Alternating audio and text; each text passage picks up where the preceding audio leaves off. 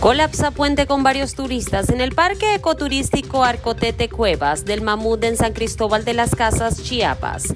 Reportan heridos. Entre los visitantes había mujeres y menores de edad. En un video en las redes sociales se alcanza a apreciar incluso un bebé en brazos, de acuerdo con información del portal de noticias Julio Astillero. Las imágenes dejan ver el momento de angustia que vivieron los turistas cuando visitaron esa zona que es muy concurrida, sobre todo en estas fechas en que aún hay vacaciones de inicio de año. Sin embargo, hasta el momento no se sabe qué pasará para deslindar responsabilidades sobre este accidente de turismo.